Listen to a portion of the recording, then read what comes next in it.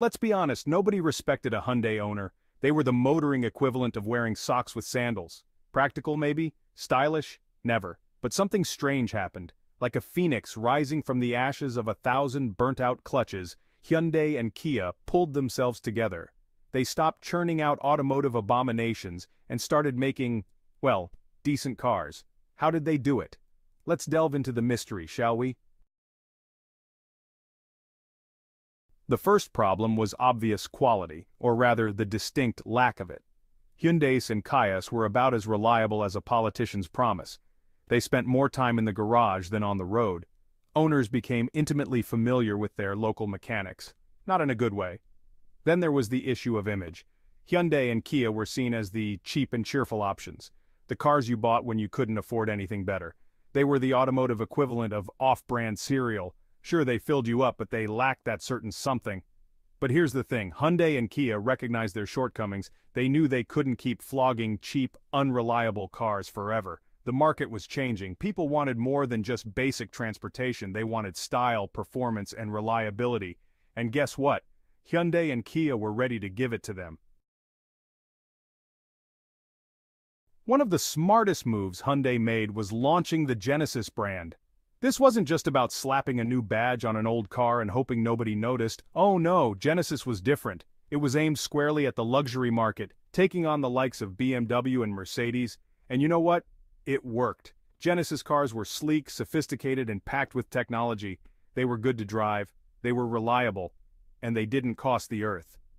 Suddenly, Hyundai wasn't just the cheap option anymore. They were a serious contender in the luxury market. This had a ripple effect on the Hyundai and Kia brands.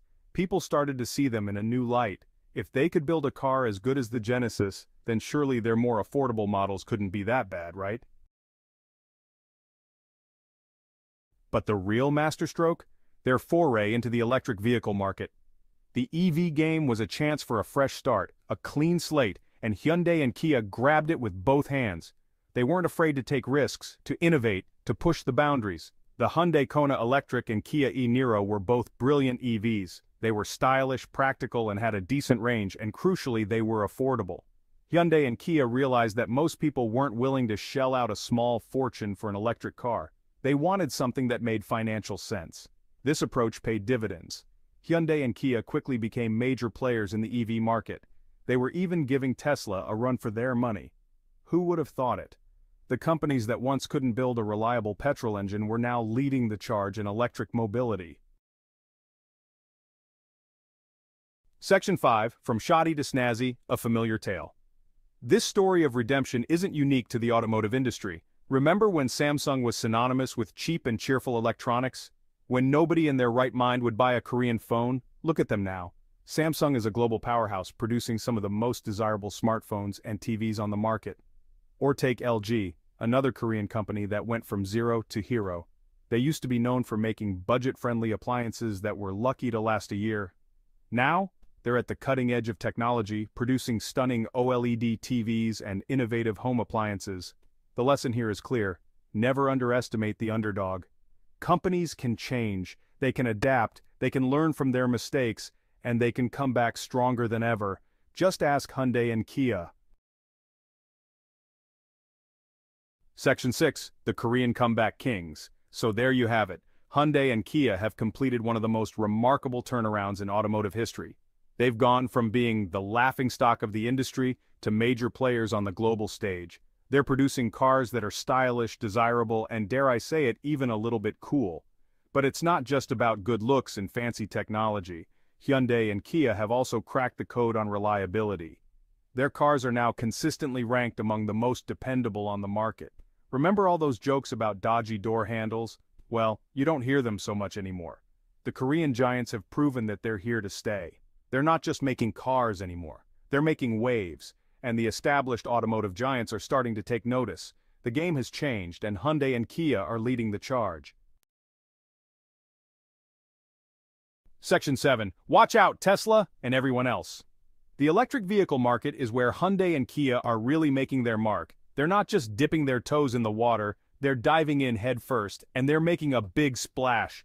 Their EV lineup is expanding rapidly, with models to suit every taste and budget. From the stylish Ioniq 5 to the practical Niro EV, Hyundai and Kia are offering compelling alternatives to Tesla, and they're doing it at a price point that's hard to ignore. Tesla might have the brand recognition and the supercharger network, but Hyundai and Kia are hot on their heels. But it's not just Tesla that should be worried. The established automotive giants are also feeling the heat. They were slow to react to the EV revolution and now they're playing catch-up. Hyundai and Kia, on the other hand, were quick to embrace the electric future, and they're reaping the rewards. Section 8. The Rise of the Red Dragon? But the Korean wave is just the tip of the iceberg. The automotive landscape is changing at a dizzying pace. New players are emerging and they're not afraid to shake things up. And nowhere is this more evident than in China. Chinese automakers are coming of age. They're investing heavily in research and development, and they're producing some seriously impressive vehicles. Companies like BYD, NIO, and XPeng are making waves both domestically and internationally. They're not just building cheap knockoffs anymore. They're innovating, they're pushing boundaries, and they're gunning for the global market. The rise of Chinese automakers is a game changer. They have the potential to disrupt the industry in a way we haven't seen before.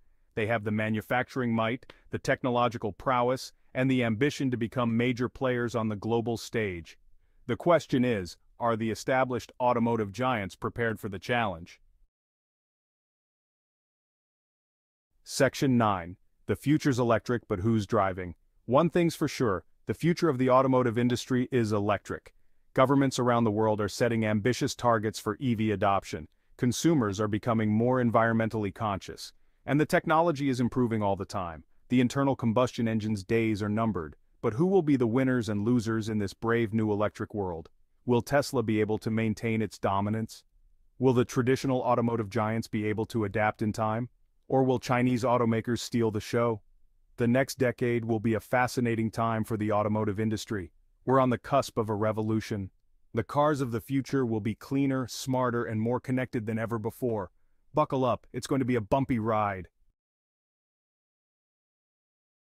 Section 10. Buckle up, it's going to be a bumpy ride. The automotive industry is at a crossroads. The old order is being challenged, new technologies are emerging, and the balance of power is shifting. The next few years will be critical. The decisions made today will shape the industry for decades to come. One thing's for certain, the future is electric.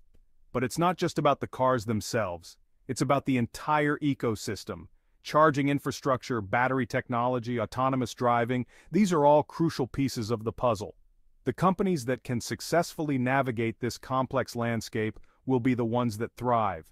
It will require innovation, collaboration, and a willingness to embrace change. The stakes have never been higher. Have. Section 11. In conclusion by Adesha. So, what have we learned today? Well, Hyundai and Kia have pulled off a blinder. They've gone from making cars that were about as appealing as a week-old sandwich to producing some of the most desirable vehicles on the market. It's a remarkable turnaround and one that should serve as an inspiration to struggling companies everywhere. But the bigger picture is even more intriguing.